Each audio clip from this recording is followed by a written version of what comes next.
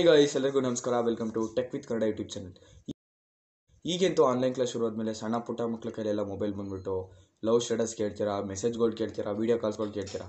ಅವರೆಲ್ಲ ಅವರ ಟೈಮ್ನ ಫುಲ್ಲು ಎಂಜಾಯ್ ಮಾಡಿ ಕಳೀತಾ ಇರ್ತಾರೆ. ಆದರೆ ನಮ್ಮ ನಿಮ್ಮಂಥ ಸಿಂಗಲ್ಸ್ಗಳೆಲ್ಲ ಬರೀ ವಾಟ್ಸಪ್ಪಲ್ಲಿ ಎಷ್ಟು ಜನ ಸ್ಟೇಟಸ್ ನೋಡೋರೆ, ಅದು ಬಿಟ್ಬಿಟ್ರೆ ಯಾರು ಮೆಸೇಜ್ ಮಾಡೋರೋ, ಇಲ್ಲ ನಾನೇ ಮೆಸೇಜ್ ಮಾಡಲ ಅಂತ ನೋಡ್ತಾರೆ ಇಷ್ಟೆಲ್ಲ ವಾಟ್ಸಪ್ ಯೂಸ್ ಮಾಡಿದರೂ ಕೂಡ ಅದರಲ್ಲಿರೋ ಟ್ರಿಕ್ಸ್ನ ಬಗ್ಗೆ ನಮ್ಗೊಂಚೂರು ಗೊತ್ತಿರಲ್ಲ. ಇಲ್ಲೊಂದು ಸಮಸ್ಯೆ ಆ ಟ್ರಿಕ್ಸ್ನ ತಿಳಿಸ್ಕೊಡೋಕೆ ಅಂತ ಈ ಒಂದು ವಿಡಿಯೋನ ಮಾಡ್ತಾ ಇದ್ದೀನಿ. ಈ ಒಂದು ವಿಡಿಯೋನ ಕೊನೆ ತನಕ ನೋಡಿ ಆದರೆ ಸಬ್ಸ್ಕ್ರೈಬ್ ಮಾಡ್ಕೊಂಡಿಲ್ಲ ನಮ್ಮ ಚಾನಲ್ ಇನ್ನೂ ಸಬ್ಸ್ಕ್ರೈಬ್ ಮಾಡ್ಕೊಳ್ಳಿ. ಹಾಗೆ ಪಕ್ಕದಲ್ಲಿ ಕಂಚ ಬೆಲ್ಲಕ್ಕೆ ಕೂಡ ಮರೆಯದೆ ಕ್ಲಿಕ್ ಮಾಡಿ. ವಿಡಿಯೋ ಇಷ್ಟ ಆದರೆ ಒಂದು ಲೈಕ್ನ ಮಾಡಿ. ಸೊ ಫ್ರೆಂಡ್ಸ್ ನಾನೀಗ ಟ್ರಿಕ್ಸ್ನ ತಿಳಿಸ್ಕೊಡ್ತೀನಿ. ಸೊ ನಾನು ಒಂದು ಅಕೌಂಟ್ನ ಓಪನ್ ಮಾಡ್ಕೋತೀನಿ. ಓಪನ್ ಮಾಡಿದ ತಕ್ಷಣ ನಿಮಗೆ ಇಲ್ಲಿ ನೋಡ್ಬೋದು ಸ್ಟೈಲಿಶ್ ಆಗಿ ನಿಮಗೆ ಈ ರೀತಿ ಬರ್ತಿರುವಂಥ ಈ ರೀತಿ ಮಾಡೋದು ತಿಳಿಸ್ಕೊಡ್ತೀನಿ. ಸ್ಟಾರ್ಟಿಂಗು ನೀವು ಕೀವರ್ಡ್ನ ಮಾಡ್ತಾ ಇರ್ತೀರಾ? ಸೊ ಕೀವರ್ಡ್ ಮಾಡ್ತಿರುವಾಗ ನೀವೇನು ಮಾಡ್ತೀರಾ ಅಂದರೆ ಯಾವ್ದಾರ ಒಂದು ಇಮೋಜಿನ ಕಳಿಸ್ಬೇಕು ಡೈರೆಕ್ಟಾಗಿ ಕಳ್ಸೋಕ್ಕಾಗಲ್ಲ. ಅದಕ್ಕೆ ನಾನು ಏನು ಮಾಡ್ತೀನಿ ಈಗ ನೋಡಿ, ಒಂದು ಲಾಂಗ್ ಪ್ರೆಸ್ ಮಾಡಿ ಇಟ್ಕೊಂಡ್ರೆ?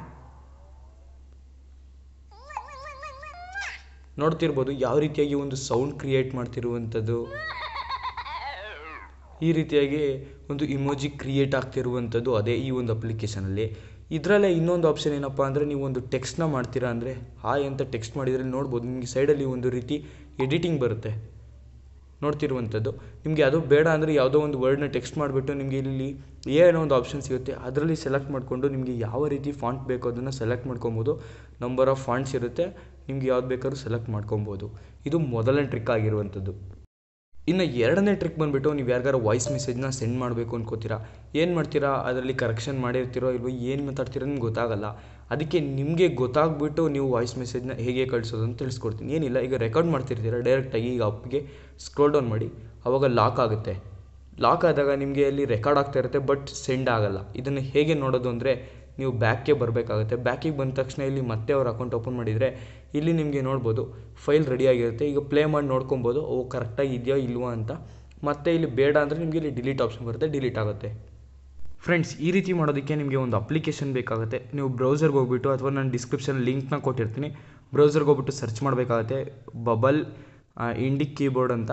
ಸೊ ಈ ಒಂದು ಅಪ್ಲಿಕೇಶನ್ ಮುಖಾಂತರ ನೀವು ಈ ರೀತಿಯಾಗಿ ಎಮೋಜಿ ಅಥವಾ ಟೆಕ್ಸ್ಟ್ ಫಾಂಟ್ನ ಚೇಂಜ್ ಮಾಡ್ಕೊಬೋದು.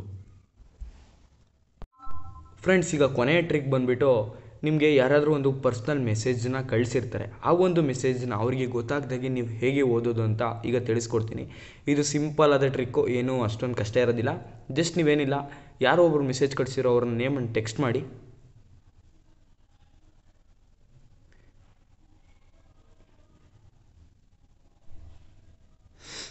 ಈಗ ಟೆಕ್ಸ್ಟ್ ಮಾಡಿದ ತಕ್ಷಣ ಅವರು ಏನೊಂದು ಮೆಸೇಜ್ ಕಳಿಸಿದ್ದಾರೆ ಅಂತ ಇಲ್ಲಿ ನೋಡ್ಬೋದು ನಿಮಗೆ. ಕೆಳಗೆ ಬರುತ್ತೆ. ಅವರು ಲಾಸ್ಟ್ ಏನೇನು ಮೆಸೇಜ್ ಕಳಿಸಿದ್ದಾರೆ ಪ್ರತಿಯೊಂದು ಮೆಸೇಜ್ ಕೂಡ ಇಲ್ಲಿ ನಿಮಗೆ ಸಿಗುತ್ತೆ. ಈ ರೀತಿಯಾಗಿ ಫ್ರೆಂಡ್ಸ್ ಅವ್ರಿಗೆ ಗೊತ್ತಾಗ್ದಾಗೆ ನೀವು ಈ ಒಂದು ಟ್ರಿಕ್ನ ಫಾಲೋ ಮಾಡಿದರೆ ಈ ರೀತಿಯಾಗಿ ಗೊತ್ತಾಗುತ್ತೆ ನಿಮಗೆ, ಏನು ಪ್ರಾಬ್ಲಮ್ ಇರೋದಿಲ್ಲ. ಈ ಒಂದು ವಿಡಿಯೋ ನಿಮಗೆ ಖಂಡಿತ ಯೂಸ್ಫುಲ್ ಆಗಿ ಇಷ್ಟ ಆಗಿದೆ ಅನ್ಕೋತೀನಿ. ಇಷ್ಟ ಆದರೆ ಲೈಕ್ ಮಾಡಿ ಶೇರ್ ಮಾಡಿ, ಹಾಗೆ ಸಬ್ಸ್ಕ್ರೈಬ್ ಮಾಡಿಲ್ಲ ಅಂದರೆ ದಯವಿಟ್ಟು ಸಬ್ಸ್ಕ್ರೈಬ್ ಮಾಡ್ಕೊಳ್ಳಿ.